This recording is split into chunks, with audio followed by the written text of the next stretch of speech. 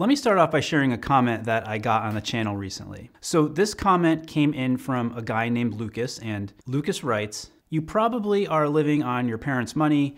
That's why you are saying that expensive things are better. Hold on a second, Lucas, because number one, I've been serving active duty in the United States Army for 18 and a half years. And number two, I've been running a successful business on the side for nine years. But thank you for making such an inane assumption about me.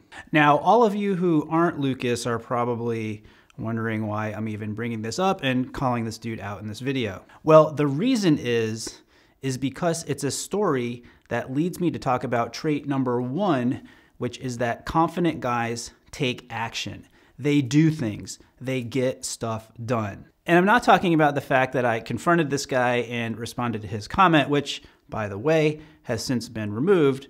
What I'm talking about is the fact that I started a business, I did it even though some people thought, no joke, that it was the stupidest idea in the world, and I haven't been afraid to experiment and try different things as the business has grown. Now, you might wonder, like, how did I even do this? This being He Spoke style. Like, how did I start it?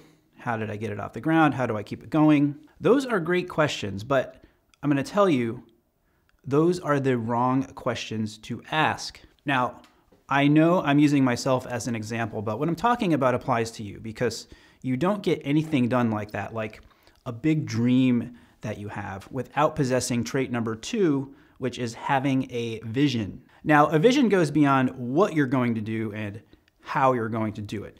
Having a vision means understanding why you are doing something. If you don't understand that, you can only take whatever it is you're going to do so far. What you should know about this, though, is that for most of us, this doesn't come easy.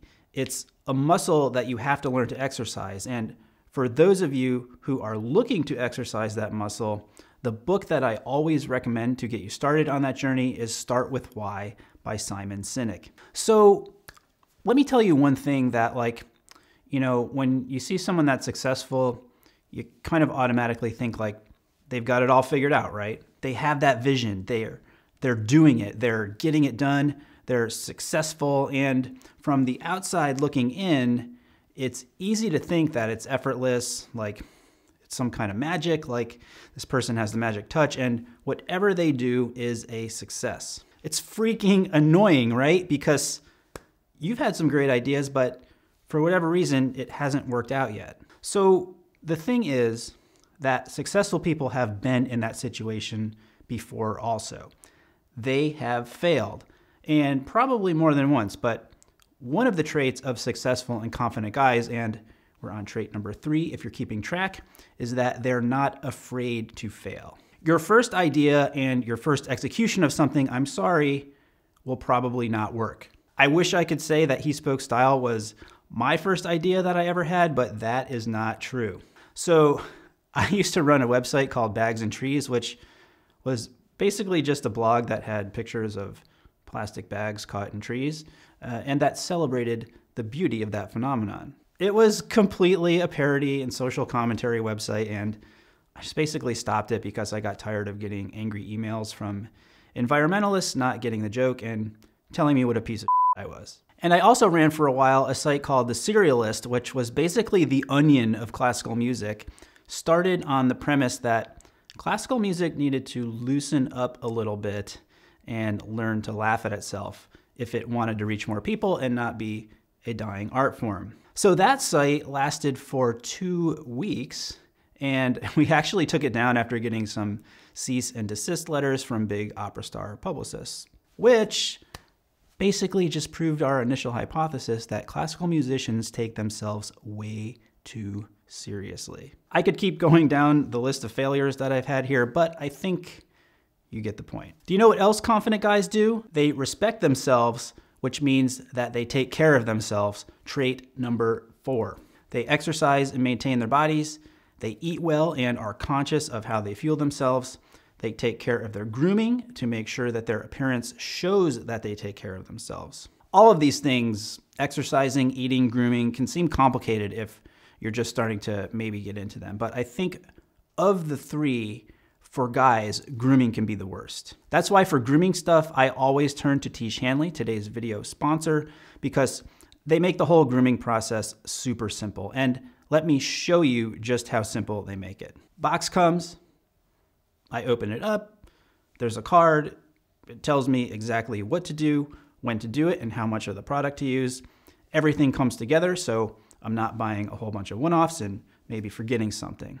All you really need to get started is Tiege's basic plan. You've got a face cleanser, an exfoliating scrub, an AM moisturizer with SPF, super important to protect your skin from the sun, and a PM moisturizer to help repair your skin throughout the night. Personally though, I add in two other products and bump it up to their level three system, which includes a firming serum and an eye cream. Now, aside from great skin, let's talk about what you get when you join Tiege. Tons of perks, including at least 20% off the retail price, the ability to customize your box, shipping reminders, pause or cancel at any time, no hassle refunds, free US shipping, and low cost shipping to most other countries. And because Tiege Hanley is sponsoring today's video, they're offering you guys a great deal. Just click the first link in the description, and not only will you get Tiege Hanley for the best possible price, but they'll also give you a free gift with your first box. So click that link to get started for just $30. Okay, so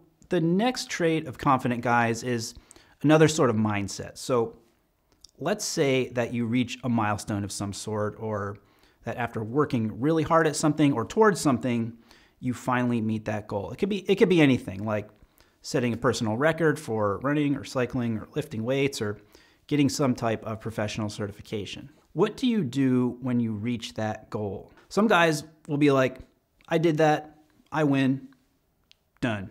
But highly confident guys will be like, okay, but how can I go even further? Because confident guys push themselves, constantly wanting to be even better than however amazing it was that they just did.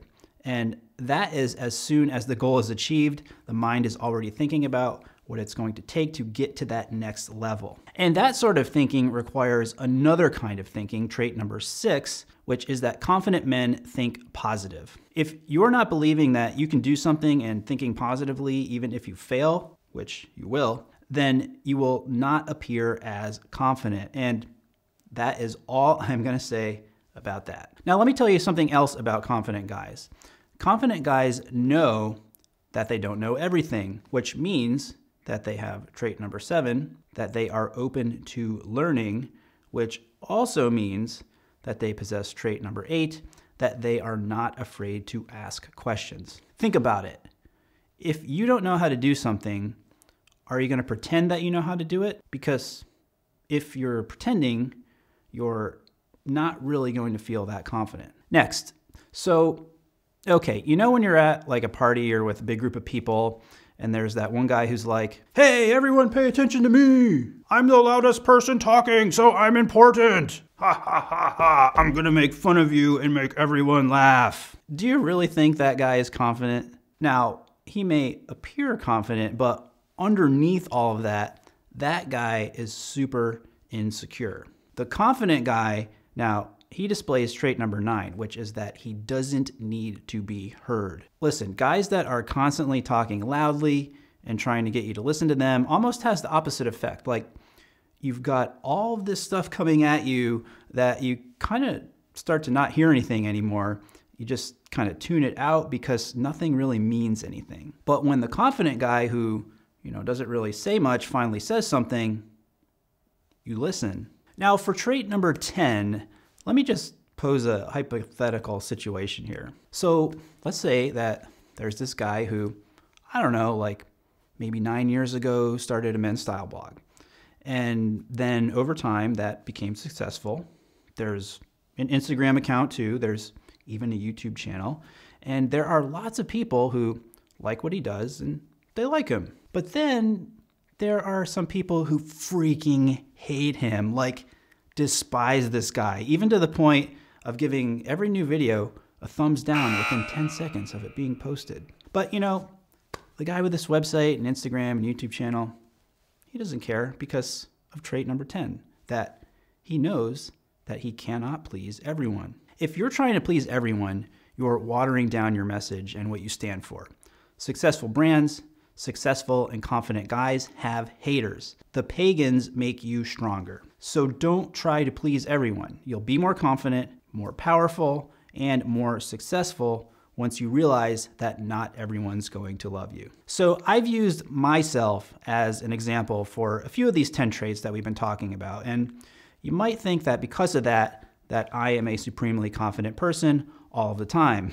What I want you to know is that this is not the case. And thinking about these things is something that I do over and over and over again to work on my own confidence. Point is that this is something that you can develop. Nobody has all of these traits without working on them and putting in some effort. And knowing myself, I would say that if I can do it, I definitely know that you can too. Thanks once again to Tiege Hanley for sponsoring this video and reminder to click the link down below in the description to give Tiege a try for yourself and receive a free gift with your first box.